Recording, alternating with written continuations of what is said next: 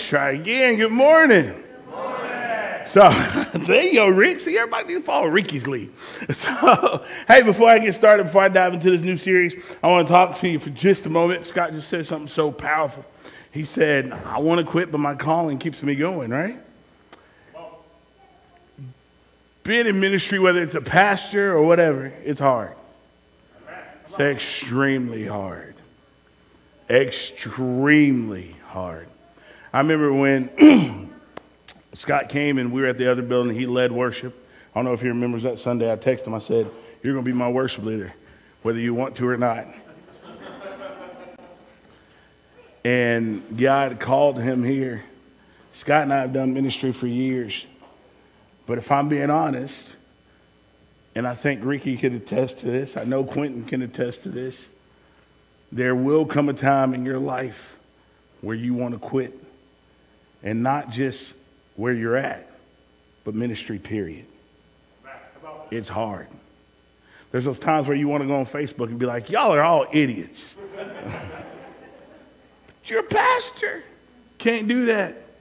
There's those times where people call you to pray, and I don't don't stop calling me to pray. I want you to call me to pray. And sometimes you just want to be like, I could pray for you, but you could just suck it up, buttercup, and life will get better. Can't do that. Ministry is. Well, you could. Ministry is hard. I want to encourage you guys to make sure that you are praying for those that pour into you. I'm not just talking about me. I'm not just talking about Scott. I'm talking about leaders of this world. Because each and every single moment of our life, we are literally being attacked. And it's hard. And, and here's the thing you look and you think, man, if I just pull the plug on all this Jesus stuff that I'm doing. Life will be easy. I'll just go to church. I'll just be a member, and we'll just go on with life. I did that at church at the well, and all of a sudden they were like they were building a backdrop, and I said, "I'm gonna come help y'all build that backdrop." All of a sudden, I was speaking and I was running sound and helping with youth, and I was like, "What happened?" when Jesus, the calling of Christ, is in your DNA, you got no other choice but to run, whether you want to or not. So make sure that you're praying for these guys. Make sure that you're praying for Scott. Make sure that you're praying for Quentin. Make sure you're praying for Joey and Logan and Lane and everyone that has their hand in Theo and especially Brian. Make sure you're praying for them because it's hard, but not just them. Listen, not just them, but our wives too because they see, see, this is the thing that people don't understand. Our wives see the ugly when you don't. Our wives see us when we're beaten down, and, and, and, and for wives that's in ministry, your husbands, they see you when you're beaten down. They see you those moments when you're weak and you're crying, and they see you in those, those moments where you just want to throw in the towel, and they're our biggest cheerleaders. But can I tell you, it wears on them just as much as it wears on us. So when you're praying, make sure that number one, you're praying for for that leader, but make sure you're praying for their spouse. Make sure you're praying for their family. Can we do that? Amen. Amen. Amen. Let's dive into this new series. It's called Who Stole My Thanksgiving? See, and it's so easy. This is the thing that I love about Thanksgiving because you go on social media, everybody's like, day one, the thing I'm thankful for. And we make it all beautiful and all cheerful and all this and all that. I remember one year somebody sent me that challenge. I was like, cool, I'm going to do this challenge. And I said, day one, and you had to use a black and white photo. I put a black and white photo of me and a black and white photo of a hot Krispy Kreme donut sign. And I said, I'm so thankful for the hot Krispy Kreme donuts because they never let me down. And my wife was like, Are you serious? And then I put day two. Day two, I put a picture of me without a haircut and a picture with me with a haircut. And I said, I'm so thankful for my barber because he always got me looking good. And then day three, I put a picture of the Facebook and so, day three, I'm thankful for Facebook because it always gives me challenges to keep me busy. And, and everyone else was like being all serious. I'm so thankful for, for the air that I can breathe. because the air that I breathe, it helps me to see that God is powerful. I'm so thankful for my spouse because my spouse is there through the good times and the bad times. And, and I know that we've had our rough patches, but I can never see life without you. And I'm sitting up here reading, this like, you lying. you, you lying. You know that there's that time in your life when you look at your spouse and be like, I should have listened to my mama. You know. Now, that's if we being realer. I'm so thankful for my kids. I, I, hate that they're growing up so fast. Most of us got a calculator on our calendar. This is the date the last one leaves for college. And y'all push them through high school and through elementary school and say you got to make good grades, not so that they can have a good future, but you push them through because you want them out the house. But see, this is what pastors do. This is what we do. We, we say it's Thanksgiving, so we're going to be thankful. And we read First Chronicles 16 34. And we say, Give thanks to the Lord, for he is good and his love endures forever. And then all of a sudden, we expect for our, our members to be like, Life is great, but can we be honest that you are thankful for your kids, but sometimes your kids get on your nerves? Somebody felt that this morning. Y'all had that real Sunday morning experience. Hallelujah. Y'all, y'all felt that more than you felt anything you heard today. But we get that way. And sometimes it's like, I'm thankful for my spouse. But see, like if you're if I was your spouse and we were on a road trip, I like to just have the car quiet. I don't like getting noise. I'm like, my wife, we can be driving to Florida eight hours. She's like, you want to cut on music? Mm-mm. You can ask my kids.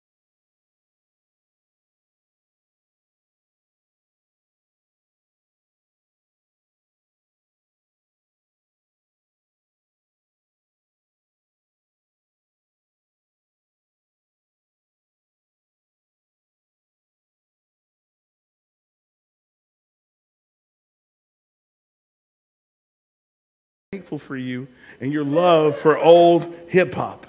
I'm looking at her saying, uh, if I could drop you off at the next gas station, know you're safe, I would. But that's, that's the way it is sometimes. But, but it's easy for us to, to understand that we're supposed to give thanks to the Lord. For some of us, the only time we give thanks to the Lord is when we're sitting in front of our meals. But when the Bible says give thanks to the Lord, it's not talking about with our words, it's talking about with our actions. It's talking about with every single moment of our life. And it gives us a reason as to why. Here's the reason why he said, For he is good. If you've gone to the old churches or if you've watched some new churches, they say, God is good and all the time. And we say it, but do we truly believe it? And here's the other part it gives us another reason. It says, listen, his love endures so why do we put a cap on that? Why do we put a cap on the love for God? You're like, I don't put a cap on the love for God because I know that God loves me. And see, for some of us, we say that, but our actions so different. We say, God loves me, but then our Facebook post shows something different. We say, God loves me, but the way that we treat others, it shows something different. And you're like, nah, that's not true. I love God because God is the center of my life. Listen, I'm a pastor and I had to get off Facebook because I was getting rowdy. I was starting to forget that I was a pastor during this pandemic. I was in this Facebook group and I'm not going to tell what the name of the group is. Scott knows the name of the group because he saw the post. yeah, he saw, he saw the comments. So I'm sitting on this page and they're sitting up here like COVID's fake. And I'm like, you're stupid. That was my response. I didn't have any scripture to go with it. They'll be like, COVID's not real. You're stupid. That was just my response. And I said, What is happening? And I would come here on Sundays and I would sing joyful noise to Jesus, say, God is good. And I would get up here and preach and, and all that kind of stuff until we shut down. And then I was in my, my office preaching, which was a whole weird experience. But I was preaching and I was believing the word of God. And but on Facebook, I was like, You're stupid. And I would go out in public and, and somebody would cough in, in the aisle and I would give them that look like, Are you serious right now, for real?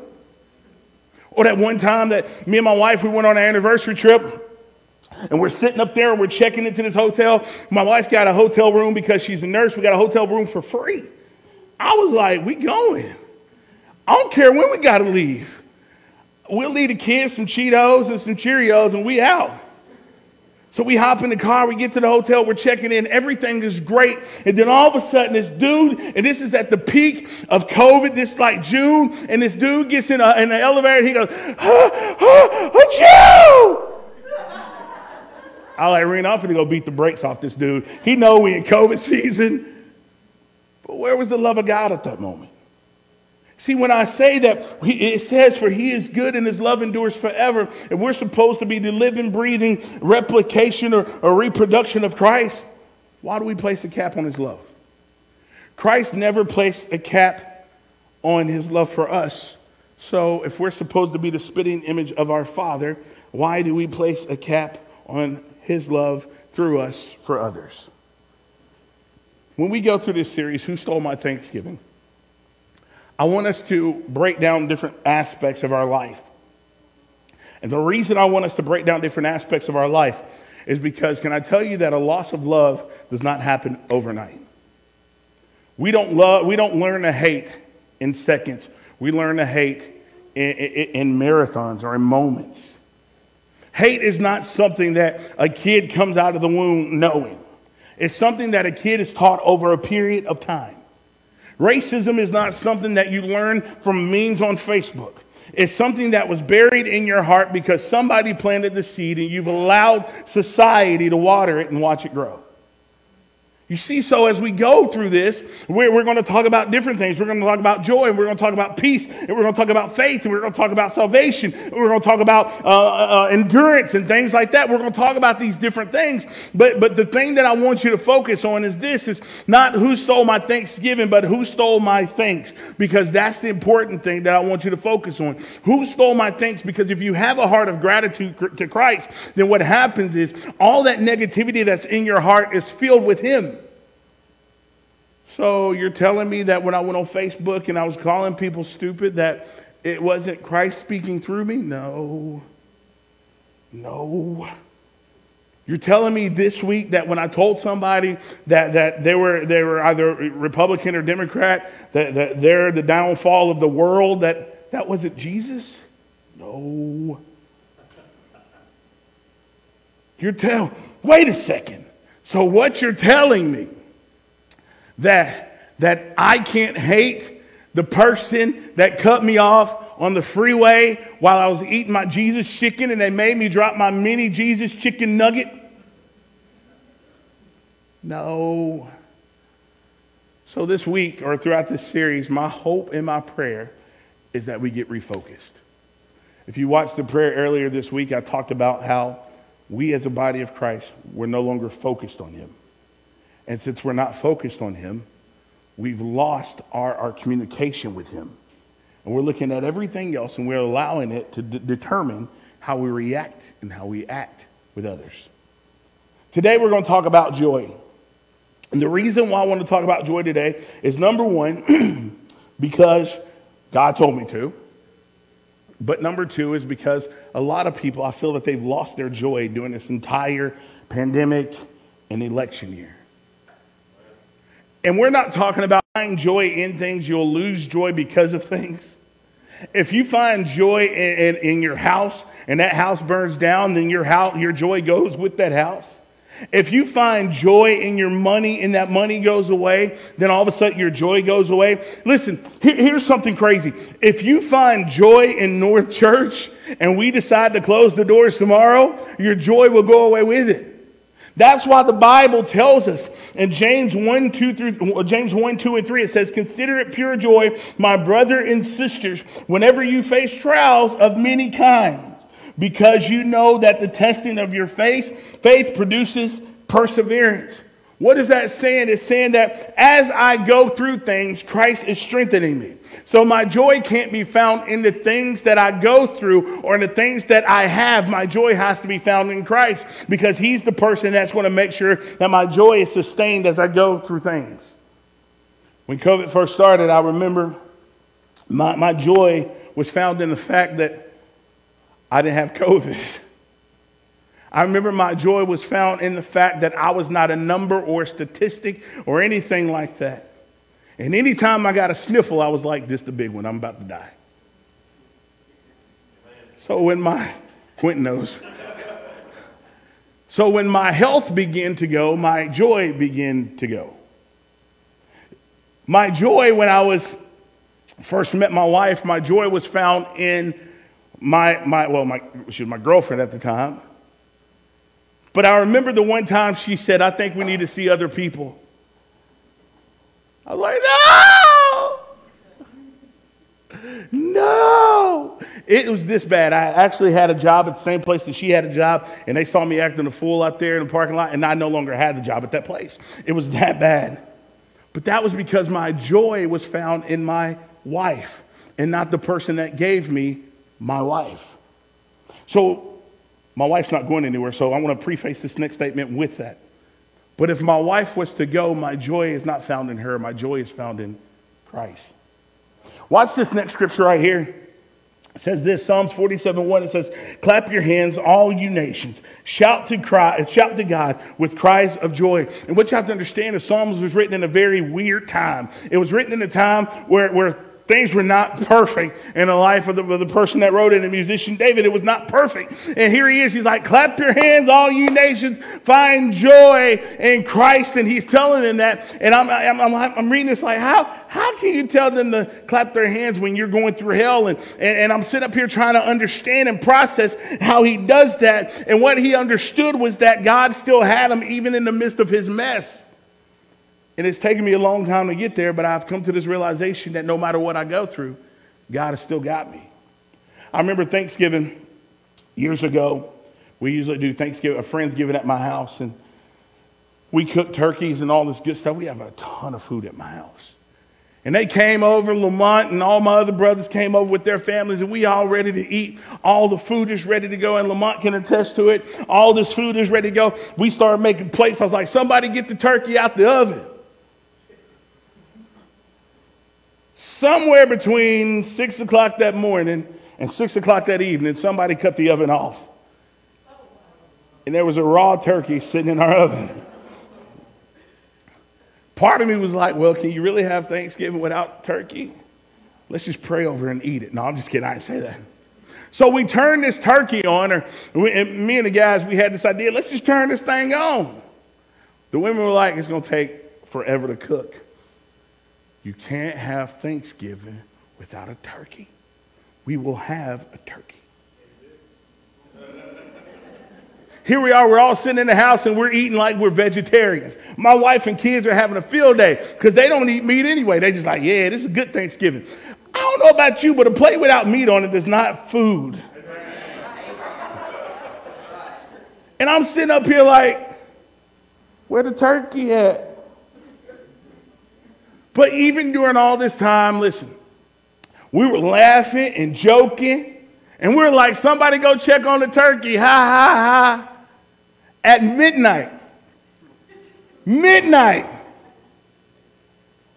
These dudes are packing plates to take home because now the turkey is ready. We were able to laugh and joke and have fun in that moment. Why? Because we knew that at some point in time, the turkey was going to be ready. Can I tell you something? That the reason why this is written in Psalms, the reason that he says, clap your hands, all you nations, shout to God with cries of joy. And he didn't say, as long as everything is going perfect. The reason that he said is, is because he understood that at some point in time, all things were going to work together for good. But why do we have a loss of joy in our life? Because we forget that no matter what we go through, all things will work together for good. Here's the, here's the caveat to that. For those that are in Christ Jesus. Wait. So, what you're telling me is that all things are going to work out all things. Absolutely. The doctor said that I've got terminal cancer. All things work together for good. Me and my husband and I, we're going through it. All things will work together for good. Man, you don't understand. The devil is taking me through the ringer. All things will work together for good. So, what does he mean by clap your hands? What does he mean? All you nations is shout to God. What he's saying is, even in the midst, middle of my mess, I will never forget that there's a message. And that message is this is that even though God is still good. So, I'm not going to allow this moment to steal my joy. Let's pray, Father God, as we dive into your word. Pray our minds are clear, our ears are open, our our, our hearts are receptive to what you're going to speak to us this morning. I pray that this morning that those that have allowed things of this world to steal their joy, they'll find them. They'll find it. And you'll restore it. Why? Because in the end, all things work together for good. Bless this service. Bless every word that's going to come out of my mouth. In your precious and holy name, and all God's children said, and amen. We're going to be studying Acts chapter 16, and I've talked about Paul and Silas in prison before, and I'm sure some of the other guys have talked about it, but I want to look at it from a different perspective. And we're going to sort of kind of skim through different parts of the story because this is the opener of our series, so I'm not going to hold you that long, and I know I say that all the time, but today I mean it. I'm not going to hold you that long. But if you look at the story of Paul and Silas, what happened was they saw a young girl who was a fortune teller. Then this young girl kept pestering her, pestering him, pestering him, pestering him. And Paul, through the power of Christ, through the power of the Holy Spirit, he delivered her of what was going on. Well, the guys who were using her for money, for his own, their own selfishness, they did not appreciate that. And now we look at Acts, Acts 16, chapter verse 22, and it starts off like this. It says, the crowd joined in attacking them because they took them to the, the town or the middle of the town and they began to attack them. And it says, the crowd joined in attacking them. And the magistrates tore the garments off them and gave orders to beat them with rods. In verse 23, it says, And when they had inflicted many blows upon them, they threw them into prison, ordering the jailer to keep them safely. Having received this order, he put them in an inner prison and fastened their feet in stocks. Can I tell you something? That when a stranger hurts you, it doesn't hurt as bad when someone that you love hurts you. I was walking into a gas station, and it was shortly after they announced that Biden was leading. And I'm walking into the gas station. And this guy randomly don't know my name and I don't know him. And I'm having a good day and I'm walking in. Do, do, do, he said, I bet you're happy, aren't you, Snowflake? And I was like, I'm still trying to figure out where, where you get snowflake from. I am the darkest snowflake ever. So this is what I do. I say, hey! He was a skinny little guy. People get brave around election year. And he tensed up a little bit. He turned around. That's what I said, no lie. Everybody in the gas station wait for me to swing on nobody. Said, snowflakes are beautiful and you have a blessed day. and everybody in the gas station starts busting out laughing. So I get up to that, I'm paying for my stuff, and cashier goes, Man, I thought you were going to hit him. I was like, Why would I waste my time on that guy? But here's something else that happened. There was a, a buddy of mine, and me and him, we, we had a disagreement, and he blocked me on everything social media, telephone, everything.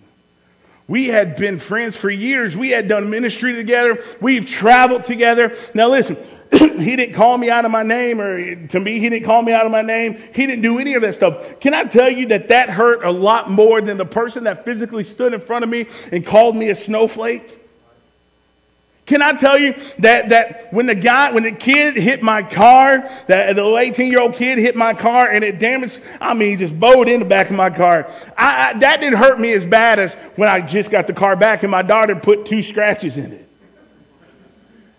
When my daughter put scratches, I was like, it's the end of the world. Why would you do this? Why? Why don't you love me? And that whole day, I'm mad. That whole day, I'm like, are you serious? She put a, a scratch in my. Do you see this scratch? I don't see the scratch. Let me get the magnifying glass. Do you see this scratch? But it hurt me because I knew her and, and, and, and I had done so much good for her. And I allowed that moment to steal my joy. And Paul and Silas, they come into the city and they think they're doing something good. This young girl, she needs healing. And they do it. And all of a sudden, it backlash and, and, and it turns on them. And then all of a sudden, people start beating them up. And not just people, but the leaders of that, of that town, they say, let's beat them with rods and tear their clothes off. And they're sitting in the middle of the city and they're beating them to a pulp. Then it says that that wasn't enough. So they didn't just throw them in jail, they threw them in to the inner jail, which is a jail inside of a jail. The deepest, darkest, scariest place.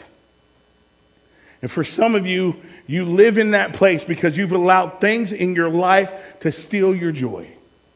You've allowed family to steal your joy. You've allowed friends to steal your joy. You've allowed church members to steal your joy. You've allowed your finances to steal your joy. You've allowed your job to steal your joy. You've allowed your circumstances around you to steal your joy. And you walk around in this inner prison not even realizing that there's so much more on the other side of the wall. So here he is. And I say, throw them in the inner prison. I'll never forget the time when my wife told me she was pregnant, the first time. And I was like, uh. And I couldn't find joy in that moment because we were not married. And I remember thinking, what are these pastors going to think about me? What is my family going to think about me? What are these promoters that I do shows for going to think about me? What is my management going to think about me? What are these people who I've led to Christ? What are they going to think about me? And I could not find Christ or joy in that moment because I allowed others to steal my joy. They hadn't even said nothing to me. They hadn't even said, You're a horrible Christian, you're a horrible person, I can't believe, blah, blah, blah. They hadn't even said that. They, they hadn't said nothing at all to me. Most of them did not even know. And here I am, and, I, and I'm sitting up here, and, I, and I'm not able to look at the cross and find grace and find mercy in the middle of my sin because I'm so focused on them, and I forgot that my joy is not found in people, my joy is found in Christ. And here's Paul and Silas, and they got two options in this inner cell. They can die or they can die. What do you mean they can die or they can die? They can die to their circumstances or they can die to Christ.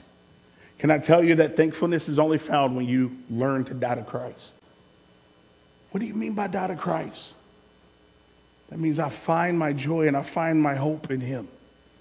That means that when, when, when, when my family turns their back on me, I, it, it can't shake me. It can't rattle me. Why? Because they didn't give me my joy and they can't take it away. When my friends stab me in the back, it don't shake me because they didn't give me my joy and they can't take it away. When COVID hits the church and people that usually come to the church don't come to the church, and I'm okay with it. Some of them are watching online, some of them just decided church ain't for me, and that's fine and that's dandy. But here's the thing those people did not give me my joy, so they can't take it away. Listen, if my kids decide to go out there and while out, I'm going to pray for them, I'm going to be there for them. But the thing is, is that they're not going to steal my joy that's found in Christ because they didn't give it to me. And they can't take it away. See, I'm going to be a Paul and Silas. What do you mean by you're going to be a Paul and Silas? Watch. It says this.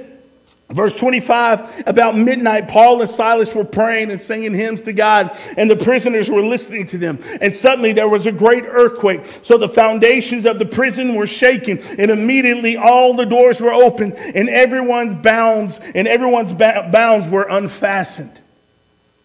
Can I tell you something that when you realize where your joy comes from and you return to that place, it's not just some simple, oh, I'm happy again.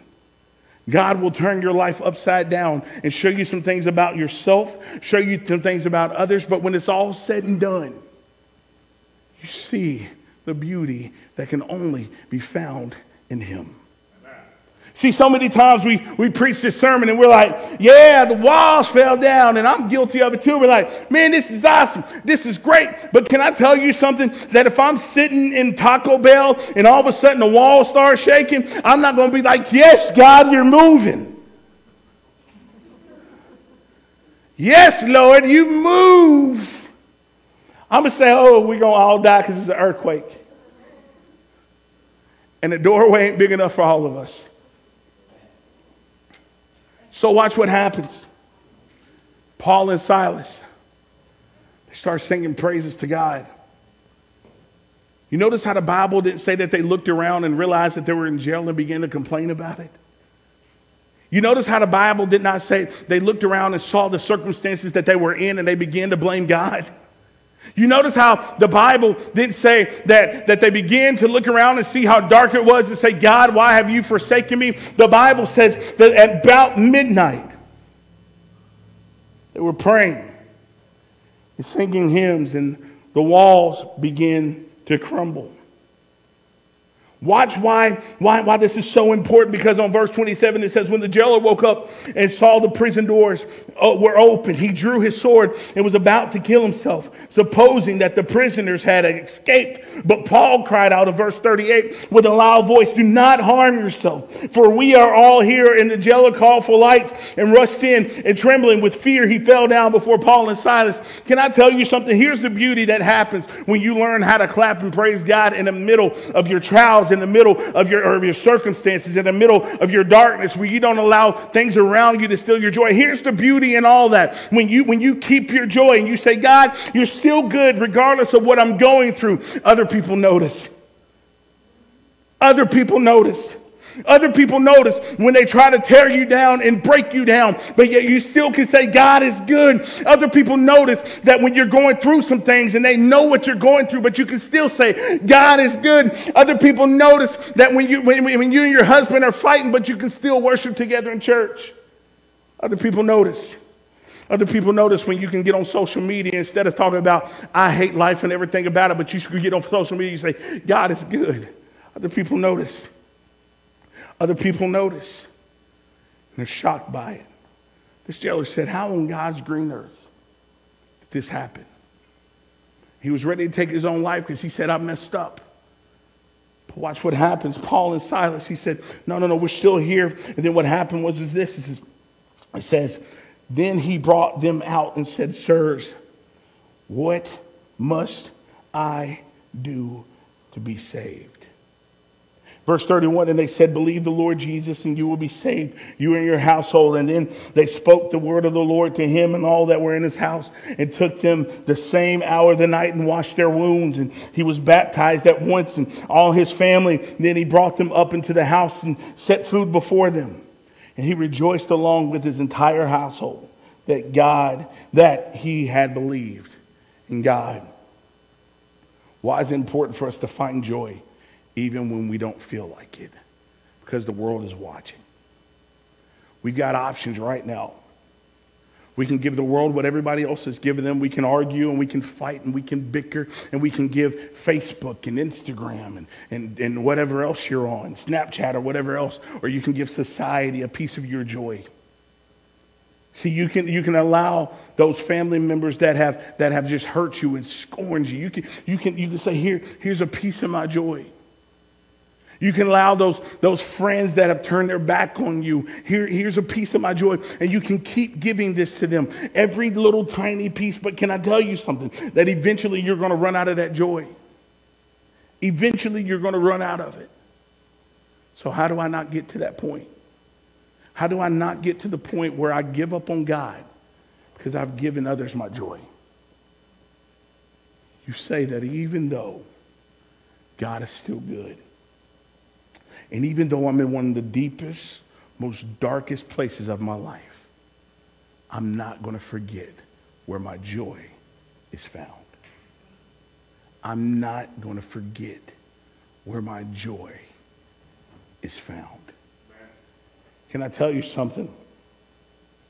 I love North Church and I love you all, but my joy is not found in my position here. I love my wife and I love my kids. but my joy is not found in being a husband and a father. I love being a business owner. I love doing ministry outside of church, but my joy is not found in that. The only reason that I'm able to stand up here every Sunday and preach, the only reason that I'm able to lead my family, the only reason that I'm able to lead a company that is based on the principles of Christ. The only reason that I'm able to walk outside of this building and go to other places and speak or go to other places and perform, the only reason that I was able to maintain my composure when that guy called me a snowflake is because my joy is not found in things that are carnal. My joy is found in Christ. Come on up here, Scott, this morning. I don't know what your inner cell is. I don't know what your inner cell is.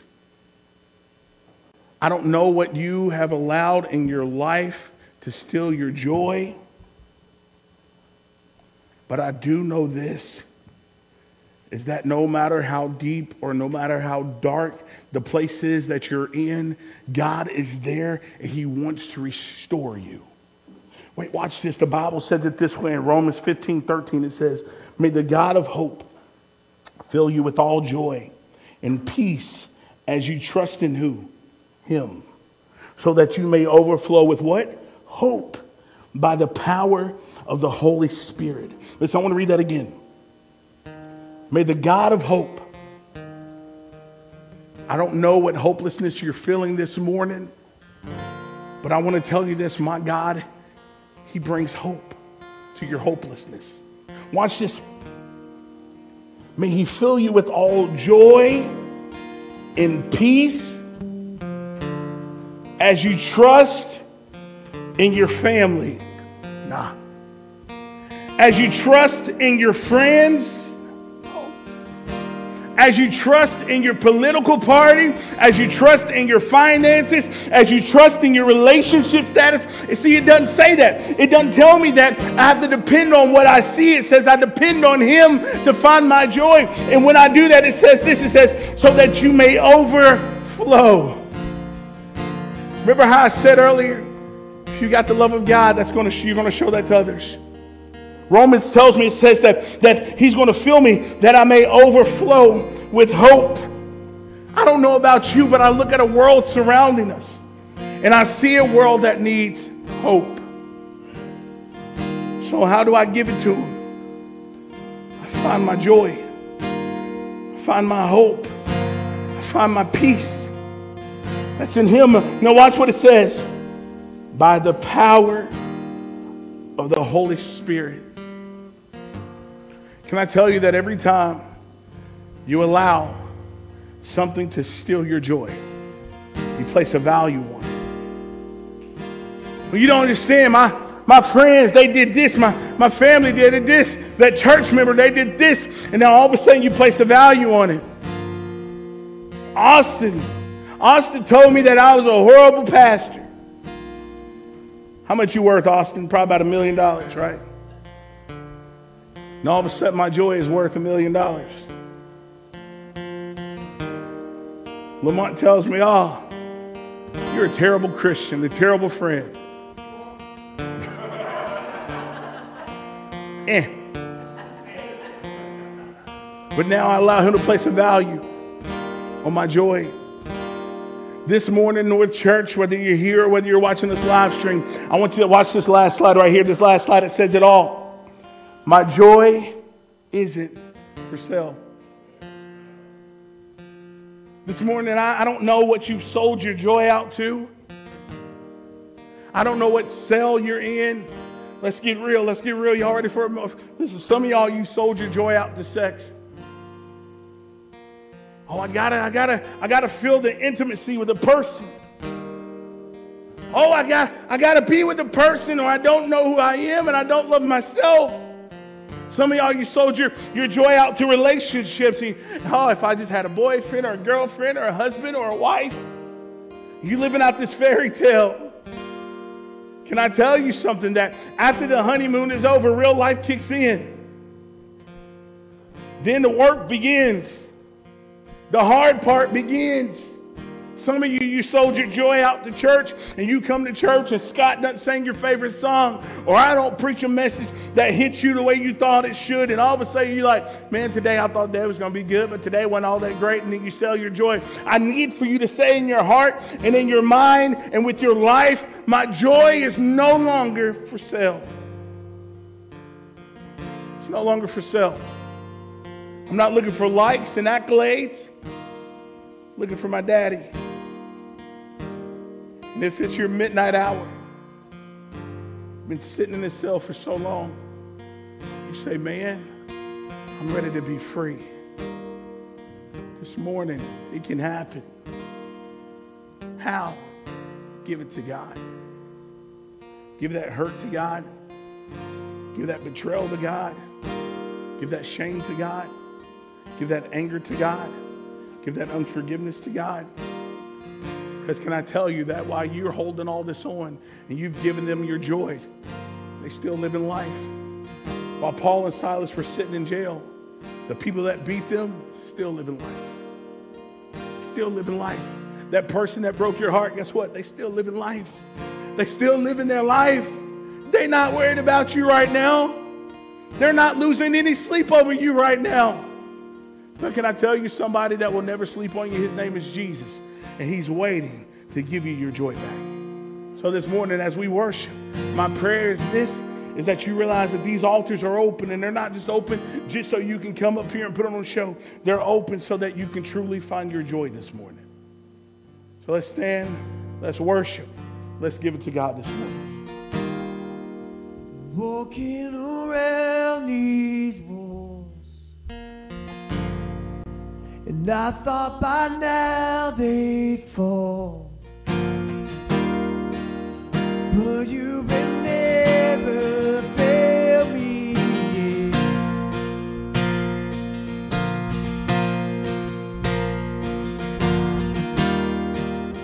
Waiting for change to come.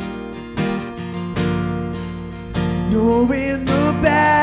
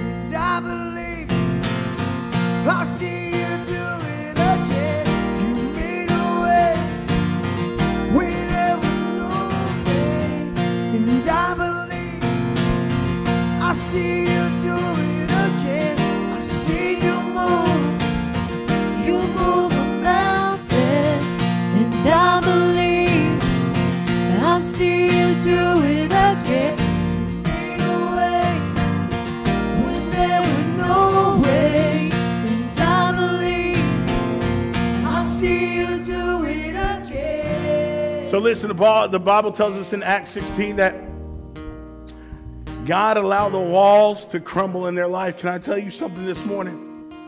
That God can crumble the walls in your life that you have built up yourself or allowed others to build up, build up in your life. God can crumble them, but only God and God alone. This morning, I want to pray with you. And I know every Sunday we, we do, we, we do a, a, call for salvation, and of course we're going to do that. But I want to stop and, and I want to pray with you before we do that that God restores your joy. That God restores your happiness and that it's not found in, in, in circumstances or tangible things, but that it's found in Him. Let's pray. Father God, I pray for my family that you just restore their joy. You restore their peace. Your word says that our hope is found in you, our peace is found in you, our joy is found in you, and it will overflow. So, God, this morning, if there's anyone here that is lacking joy, I pray that they will get it restored from you. Because, God, as the song says, we've seen you move mountains. We know that you can do it again.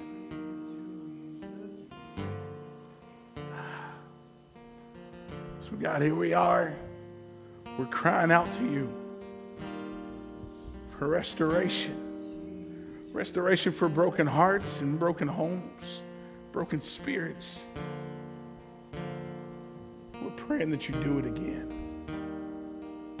This morning, if you say, I don't know who Jesus is, I don't know how to get that joy that you're talking about, the Bible tells us that he came down and he lived a perfect life and he died for you and for me. And if you say, man, I need that joy for the first time, or I lost my focus, I lost my way, I need to be restored. The Bible gives us a promise in John 3:16 when it says that he loved us so much he came and he lived a perfect life and he died a sinner's death so that we can have restoration. So this morning if that's you and you say, "Man, I I got to get back what I lost." We're going to say so we're going to say a prayer. It's called a sinner's prayer. And we're going to invite you to say this with us. And this is just step one. Step two is this Galatians tells us that you have to be crucified with Christ. It's no longer your life, it's His life. And you allow Him to lead, guide, and direct it. Therefore, you no longer live, but Christ now lives in you. That's how you found your joy. Let's say this prayer together. If it's the first time or thousandth time, let's say it. Father God, my life is yours. I'm a sinner and I need a Savior. I believe you came, died, and rose again in victory. Forgive me for my sins. Restore my joy. Restore my peace. Amen. Let's give it up for those this morning that said that prayer. God's moving mountains. God's moving mountains. But listen, listen. That last slide, don't forget it. Your joy can't be for sale. Your joy can't be for sale.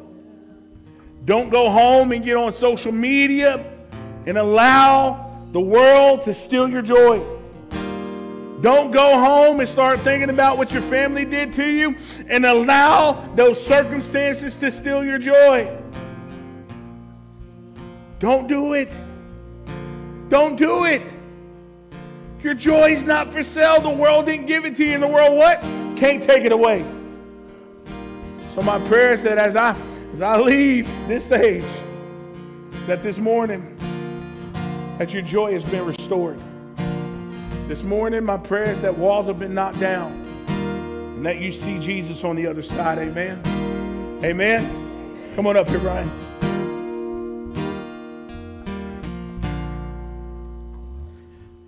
All right, let's give it up for Vince one more time. That's a pretty good ser- sermon. Uh, trying to keep my emotions in check because y'all gonna, especially Vince and Quentin, is gonna make fun of me if I get emotional and start crying. Uh, uh, but earlier, you know, what Scott was talking about, like lots of times we just want to give up. Uh, there's been plenty of times in my life I wanted to give up, but I'm to give some words of encouragement to Scott. I don't have to do this or Cassandra.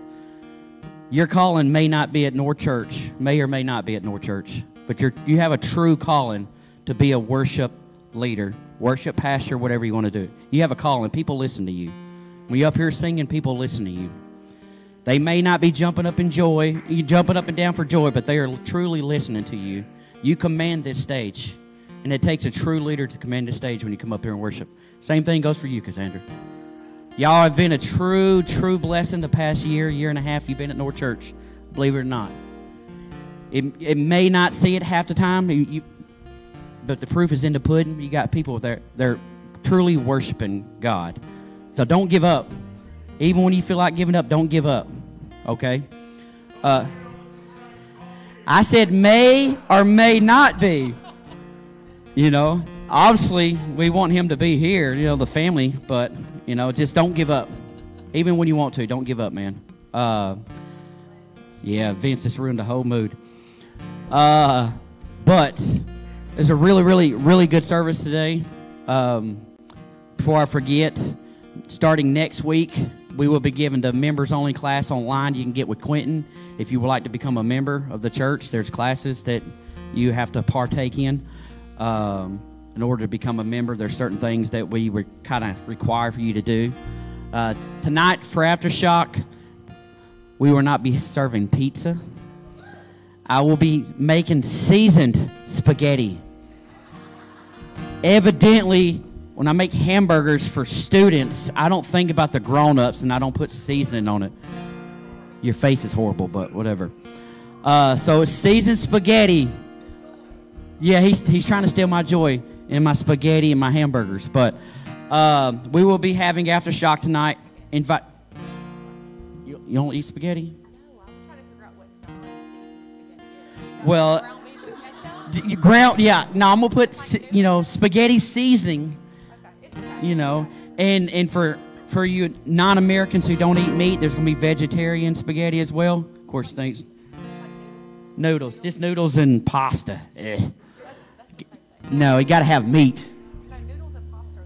No, uh, noodles, paste, spaghetti sauce. Um, but no, y'all come on out, invite your friends. We had a pretty good time last week. I'm looking forward to seeing you guys tonight. Um, before I forget, we're going to do the offering because that's one of the one of the important things of the service. Uh, we got these two buckets up here. You can come up and give cash or checks. If you don't have cash, you don't have checks, we got a wonderful app you can give. You can give on called Givelify, or you can get on www.northchurchrockmart.com and you can give that way. Just give what you feel like you need to give.